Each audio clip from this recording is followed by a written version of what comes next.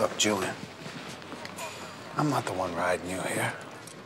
But you got a little problem with respect in this house. People are wondering what you're doing about the beating you took. Well, detectives haven't made much progress. You still can't prove who did it. Everybody here knows who did it. And they're watching you.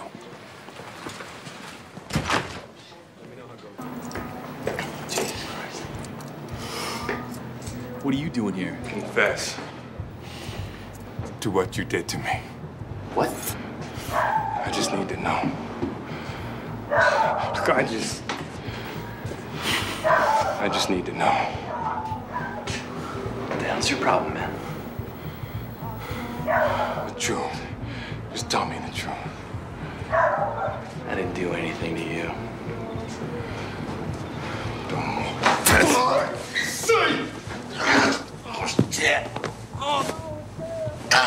No army besieged me, my heart will not. Even though war breaks out against me, even then. Julien, please! Ah! Ah! Ah!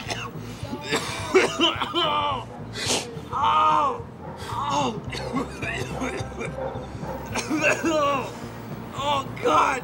Oh! Oh! Oh! Oh!